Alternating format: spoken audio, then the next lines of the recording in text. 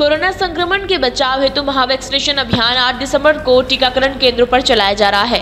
अभियान में ज़्यादा से ज़्यादा लोग वैक्सीन लगवाएँ। इसको लेकर टीकाकरण अभियान के अंतर्गत 15 राशन की दुकानों में लकी ड्रॉ का आयोजन किया जा रहा है, जिसमें 10 पुरस्कार नागरिकों का नाम लकी ड्रॉ के माध्यम से चयन होगा। इधर नगर निगम आयुक्त विशाल सिंह चौहान और एसडीएम प्रदीप सोनी भी महाअभियान को लेकर ढोल बजाते हुए घर और दुकानों पर दस्तक देकर वैक्सीन लगाने को लेकर सर्टिफिकेट देख रहे हैं। वहीं जिन लोगों को वैक्सीन के डोज नहीं लगे हैं, उन्हें प्रेरित कर वैक्सीन लगवाने के लिए भेज रहे हैं। जिन लोगों ने वैक्सीन की दोनों डोज लगवाए, उन्हें गुलाब का फूल भेंट कर प्रशंसा भी की। देखिए, मध्य प्रदेश सरकार चिंतित है कि कोरोना की तीसरी लहर बहुत सारी जगह कैसे आने लगे हैं। इसलिए आम नागरिकों की चिंता सरकार को है और सरकार चाहती है कि दूसरा डोज लग जाए।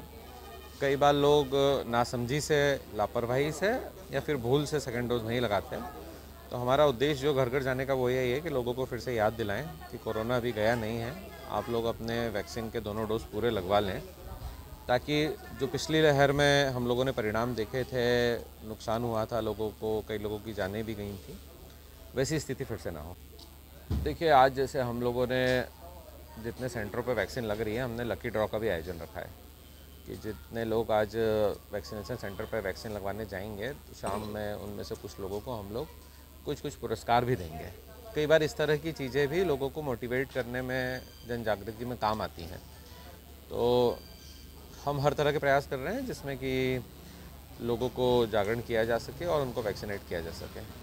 आज महा वैक्सीनेशन अभियान चलाया जा रहा है और जैसे हम विगत समय भी इसको कंटिन्यूस करते आ रहे हैं आज हम लोगों ने थोड़ा इसको और इस, इसमें और गतिविधि बढ़ाने के लिए हम लोग हमारी सारी टीम नगर निगम कमिश्नर मैं हमारे ग्रामीण क्षेत्र में भी आप देखेंगे तो सारे तहसीलदार, सभी विभागों के समस्त अधिकारी, कर्मचारी आज फ़ील्ड में हैं। हम घर घर जा रहे हैं। हम सर्टिफिकेट चेक करते हैं। नहीं होता है तो हम उनसे मोबाइल नंबर लेके हम ऑनलाइन चेक करते हैं। स्पेशली राशन की दुकानों पे इंस्ट्रक्शन दे दी गए हैं कि अगर आपके पास वैक्सीनेशन नहीं तो आपको राशन नहीं मिलेगा। तो अब जो चूँकि हमारा शहर काफ़ी हद तक वैक्सीनेशन हो चुका है, पर जो कुछ लोग जो वंचित हैं, जो लोग थोड़ा सा रजिस्टेंस करते हैं या थोड़ी रुचि कम दिखा रहे हैं, उनको हम अलग अलग तरीके अपनाकर हमारी ये हमारा मिशन है कि हम इसको जल्दी वैक्सीनेशन पूरा करें लगता है मुझे लगता है कि कहीं ना कहीं कुछ लोगों को कुछ ना शंकाएँ होती हैं। आज भी हमने कई लोगों को समझाया तो हमारी नीचे की टीम से नहीं समझते तो ऊपर की टीम को भेजना पड़ता है। मानते हैं कई लोग मान रहे हैं जो नहीं मान रहे उनको हम व्यक्तिगत ऑफ़िस में बुलाएँगे कार्यालय में बुलाएँगे और समझाइश करके कराएँगे। हमने समस्त कार्यालयों में बाहर जैसे मेरे स्पेशली मेरे तहसील कार्यालय में मैंने बाहर बोर्ड लगा दिया लोगों को बिठा दिया है। जो वैक्सीनेशन नहीं होगा वो अलाउ नहीं रहेगा कार्यालय में। तो इस प्रकार से हम पूरी कोशिश कर रहे हैं समझाएँगे भी अगर लगा कि डांटना है तो डांटेंगे भी पर चूँकि लोगों की स्वास्थ्य से बढ़ के और कुछ नहीं हो सकता है कोविड की तीसरी लहर के, भी, के बारे में ओमिक्रॉन भी आ गया है इन सारी संभावनाओं को देखते हुए हमारी प्रायोरिटी है कि हम लोग वैक्सीनेशन को पूर्ण कराएँ। देवास से कैमरामैन अभिषेक सोनी के साथ राजेश पमार की ये रिपोर्ट।